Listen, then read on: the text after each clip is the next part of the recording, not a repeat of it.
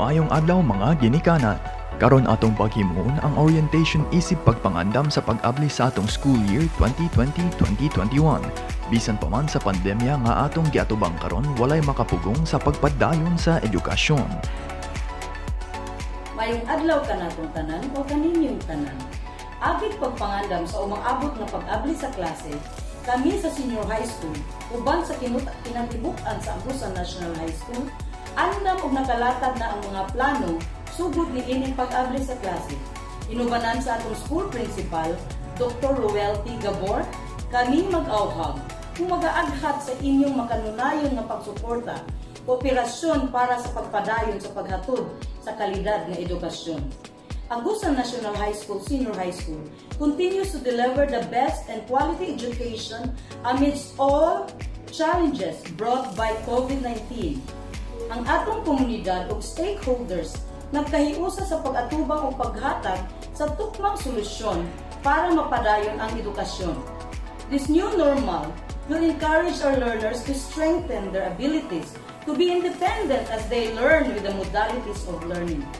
Sa atong pagtinabangay, makat-up natong tanan ang mga tinguha para sa atong mga anak ug ang inyong pagsuporta mauyabi sa atong pagpadayon sa paghatag sa kalidad nga edukasyon. Daghan kaayong salamat. Ang Agusan National High School Senior High School andam na alang sa pag-abli sa school year 2020-2021. Ang tulo ka strands, ABM, UMS ug STEM adunay duha ka learning modality nga paghimuon. Kini ang pure online learning modality ug pure modular learning modality based sa survey nga gipahigayon.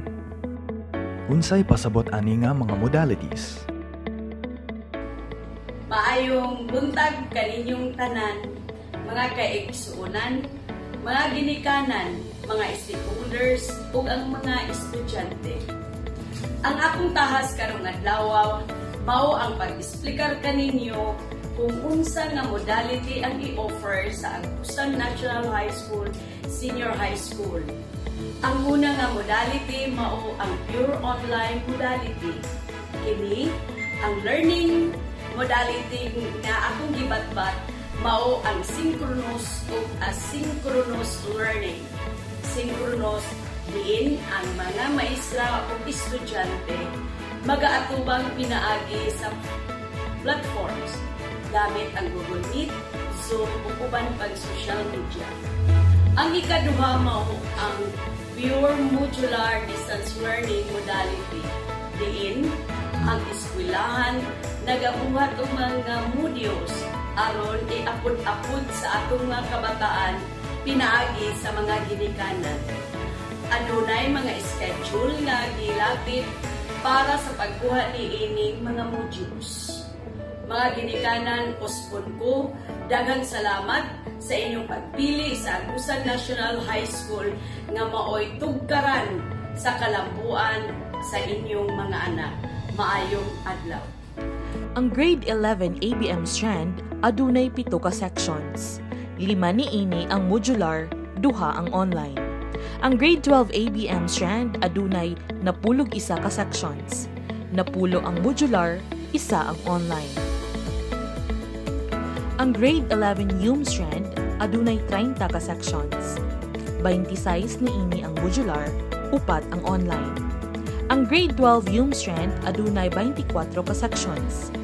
22 ni ini ang modular ug duha ang online. Ang grade 11 STEM strand adunay 14 ka sections. Napulo ni ini ang modular ug upat ang online. Ang grade 12 STEM strand adunay 8 ka sections. Unom ang modular, Duha ang online. Aron mahimong hapsay ang pagpatuman sa atong mga modalities, mao kini ang mga kinahanglang buhaton sa mga estudyante o ginikanan. alang sa online learning modality. Una, i-check ang schedule sa mga klase nga gi-post sa gate sa ANHS SHS o sa ANHS SHS FB page. Ikaduha, kinahanglan adunay Gmail account ang estudyante kay mao kini ang gamiton sa pag-login. Ikatulo, mosulod sa link nga gihatag 10 minutes usa magsugod ang klase. Ikaupat, magsuot og formal nga sanina. Ikalima, mangita og maayo og hayag nga lugar sa oras ting klase. Ikaunom, i-mute ang microphone kung dili mag-istorya o kung adunay saba sa palibot. Ikapito, ang mga PPS nga mahimong gamiton sa klase mao ang Zoom, Google Meet ug uban pa. Ikawalo, mag-andam og notebook ug ballpen. Ikasiyam, sa synchronous class, adunay lamay upat ka oras nga imagatubang ang estudyante sa laptop o cellphone. Ikanapulo, sa asynchronous classes, mamahimong mula sa upat ka oras magatubang sa gadget ang estudyante. Ikaunsi, kinahanglan sundon ang maayong pamatasan sa online class. Ikadose, i-contact ang advisor alang sa uban pang instructions. Alang sa modular learning modality, diin ang ginikanan mo adto og tulunghaan, mao kini ang mga tamdanan. Una, muanhi sa tulonghaan subay sa oras nga gihatag aron mokuha og muuli sa modules ug mupasa og outputs. Kini paghimuon sa adlaw nga tinggawas sa pamnimalay sumala sa color code sa atong home quarantine pass. Black Lunes, Blue Martes, Red Miyerkules. Ikaduha, adunay oras nga gi-schedule para sa mga ginikanan sa pag-ani sa tulonghaan.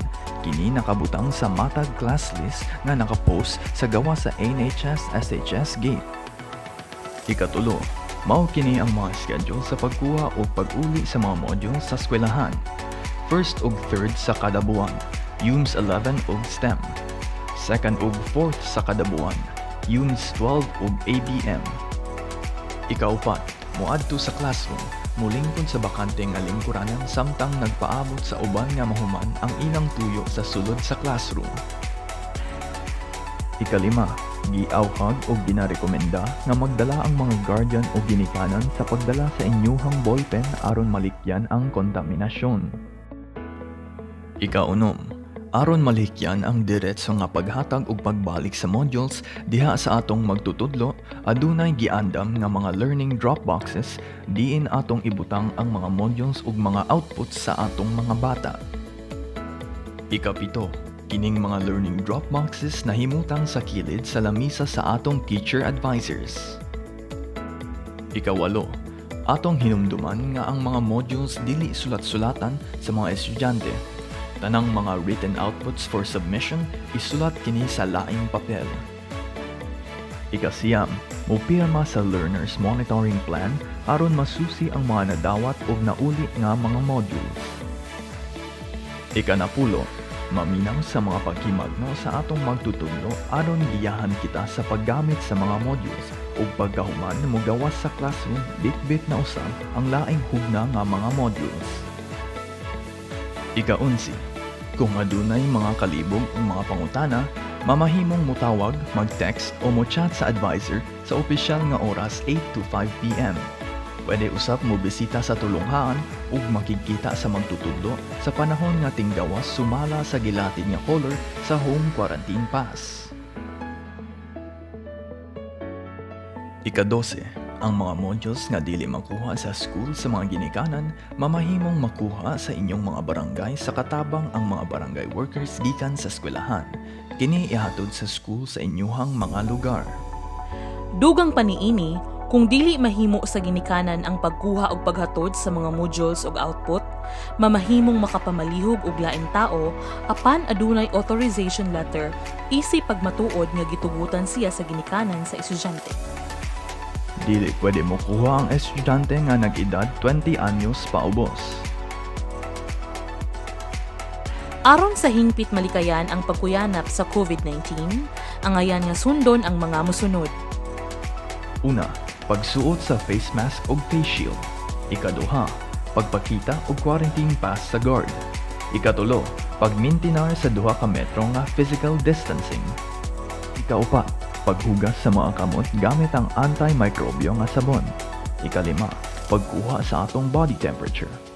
Ikaunom, pagtamak sa gibutang nga foot bath. Ikapito, pagsulat sa monitoring sheet. Ikawalo, pag-disinfect sa mga kamot gamit ang hand sanitizer o alcohol. Ikasiyam, pagsunod sa pula nga arrow nga maghatag kanato og giya diha sa pagsulod og paggawa sa classroom og tulonghaan. Alang sa inyong dugang pangutana, Anda mutubag ang atong mga class advisors or bisita lamang sa FB page sa Agusa National High School, Senior High School. Padayon ang edukasyon.